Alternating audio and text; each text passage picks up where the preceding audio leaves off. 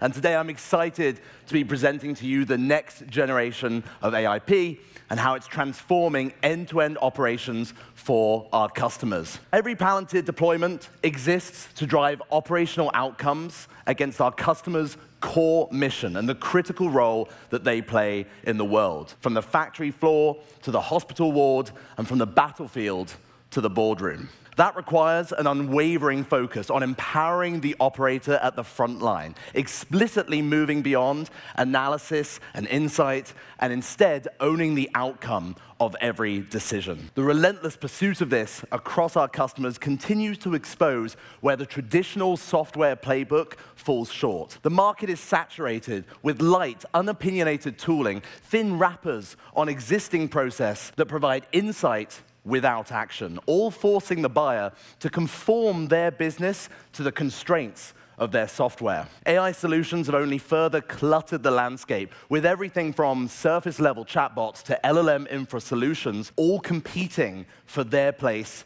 in the architecture diagram, without any of them truly closing the loop to decisions that impact the business. Palantir's customers sit at the bleeding edge. They operate in some of the most mission critical, sensitive, and competitive environments. They therefore demand more from the systems on which they build and run their operations.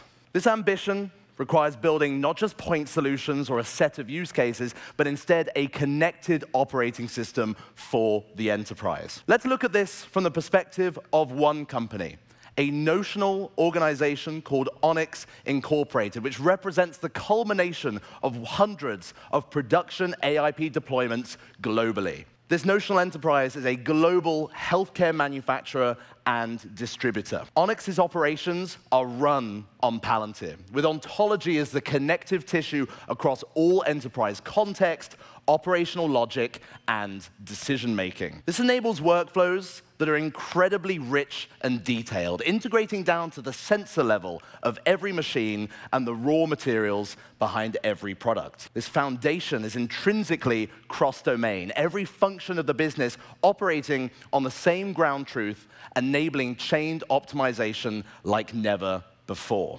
Most critically, this rich, connected ontology serves as the foundation for a new approach to decision making. Core functions of the business are now agent driven, with human operators refocused to only the most critical, complex, and valuable of actions requiring their involvement. These agent driven workflows span the interconnected operations of Onyx Incorporated. So let's dive into one of these workflows in more detail, starting with order fulfillment. This is our inventory manager. Here I can monitor the movement of every customer order through the automated flow that takes orders through every core stage of fulfillment, from initial review of the incoming order, including attachments, comments, and communications from the customer, to allocation of inventory to every order, and then assigning of those orders to shipments optimizing for on-time delivery and minimizing shipment costs. My automations are set up in a way that every new order is worked on in parallel, allowing hundreds, if not thousands of orders to be processed every minute. This human AI teaming is made possible by a core principle of AIP, that every primitive of the ontology can be leveraged by both human operators and AI agents. Jumping under the hood of this workflow, we see the circuitry of the ontology that connects the context of my enterprise, the logic of my business processes, and the actions that enact decisions. These are the building blocks of my enterprise operating system, with every one of those building blocks a common interface between human users and AI agents.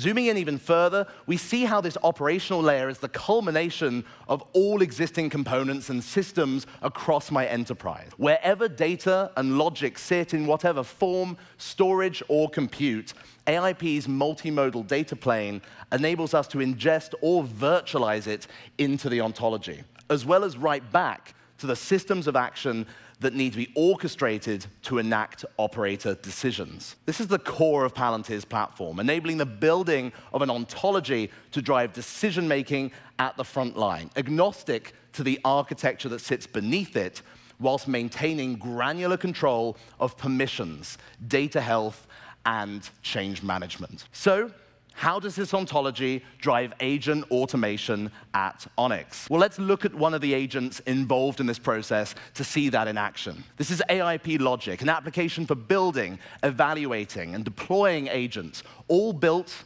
with the same building blocks of the ontology. Logic allows me to serve these primitives to LLMs of my choice as tools, allowing us to automate the manual, repetitive workflows that draw my operators' time from the actions uniquely requiring their expertise. This involves combining multiple LLM blocks, providing LLM of my choosing with the instructions, the context, and the tools to drive decisions across my ontology. Object query tools allow my agents to reach out to specific parts of my ontology to retrieve context relevant to their inputs and the tasks that they're carrying out. We also provide action tools, the very same actions that a human operator would use to enact decisions.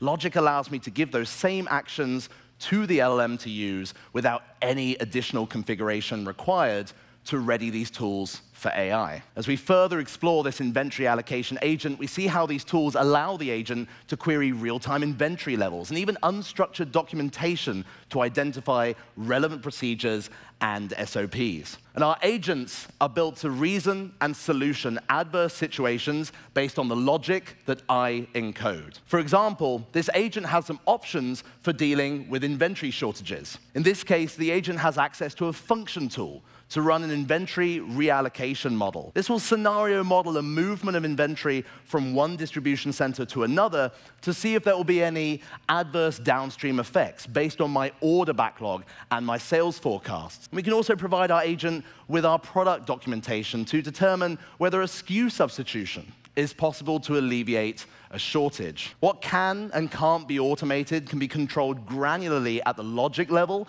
but then also part of the automation that defines when this agent is triggered. This automation provides me with the controls over agent trigger criteria, as well as whether edits to the ontology can be made autonomously by the automation. I also have control over dynamic retries and other safety nets to ensure maximum reliability of my in-production agents. With these granular controls, AI automation becomes a dial that I can tune up or down depending on the maturity and the impact of my workflow. Speaking of in production, as we increase the breadth and depth of automation across the enterprise, it's critical to maintain visibility of how my agents are performing. For this, we have AIP evals. Evals allow me to set up any number of test cases and evaluators against my logic, everything from checking for specific outputs to rubric graders, where I can use another LLM as a judge to evaluate my logic against a defined criteria. And since changing LLMs is as simple as a dropdown, I can very quickly run tests to see what combination of LLMs is optimal for each individual agent. So we've seen how agents are built, tested, and deployed. Let's zoom back out to our inventory manager workflow to see how this enables my operators to work in collaboration with my agents. We can see all of those customer orders have now been processed, with the majority being fulfilled autonomously by my network of agents. But a subset have been flagged for user action. Jumping in as the operator, I now have a full action log handled by the agent. I can see what data was accessed, what tools were used, and how that all contributed to the agent's final decision. This becomes valuable context as I pick up where the agent left off and take the required actions to move this order forward.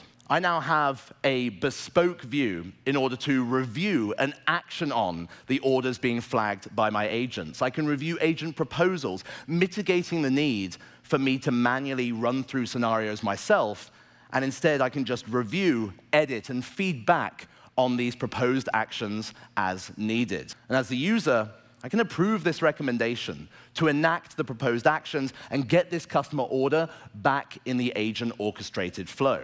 My actions are set up to write back to my source systems, my MRP, my production schedules, and all relevant scenarios, keeping everything in sync. For our customers building with Warp Speed, this is transforming how they respond to rapidly changing supply and demand. And this decision doesn't just become exhaust into the ether. Every response to an agent proposal is captured in the ontology.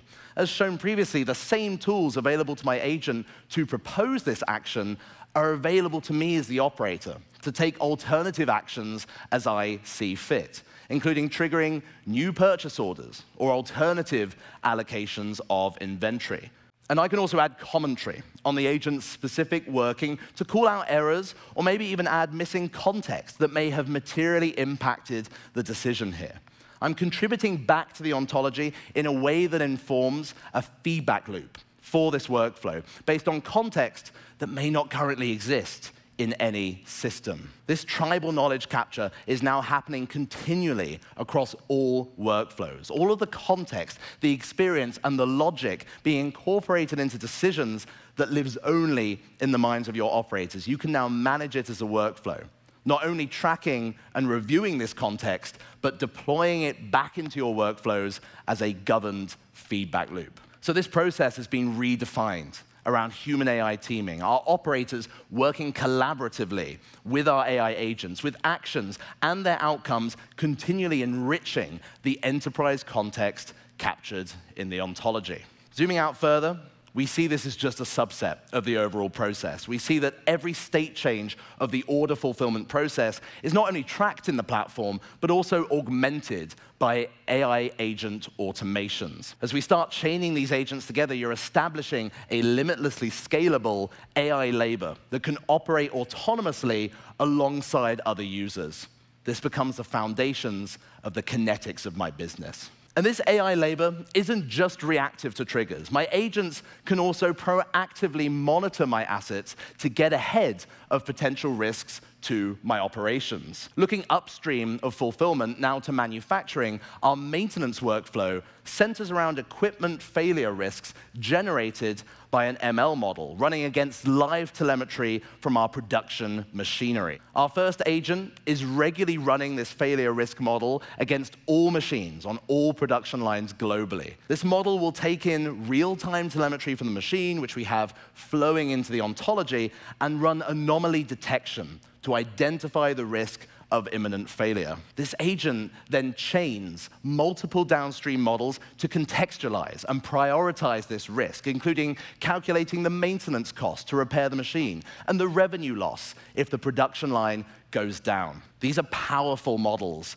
brought to the business by the ontology and democratized to both human operators and AI agents. These agent identified failure risks then trigger a dedicated agent chain for the process, including identifying a recommended solution for every alert based on documentation, historic maintenance, and of course, our enterprise feedback loop. Then we have dynamic scheduling for the maintenance to go to an optimal technician based on skill set and availability. All of this dynamically prioritized based on that calculated dollar risk of the downtime. The result of this chained agent flow, well, now my technicians have their own dedicated work queues geared towards providing operators with all the context and the guidance to interpret and action on issues quickly. Every machine is entirely ontologized, meaning each alert is tied to the specific component I need to repair or replace to prevent this predicted downtime